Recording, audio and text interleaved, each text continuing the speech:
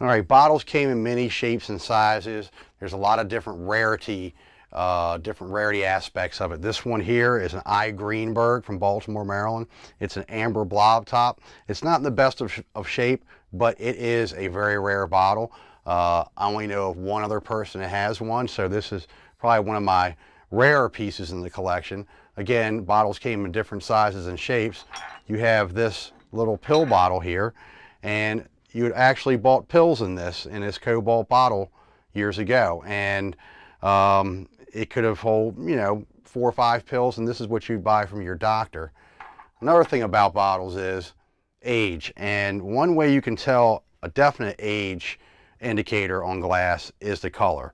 This glass was once clear that has now turned purple. Anything made before around 1914 will do this because the components in the glass over time with the exposure of sunlight would turn purple. Then you have newer bottles like this. Budweiser actually put this out as a 10 pin bottle. There was a big bowling tournament going on. They put these out for a short period of time, uh, probably in the mid mid 90s, so it's not exactly old, but I, I don't know of anybody who has one, so I'm probably the only person aside to keep one.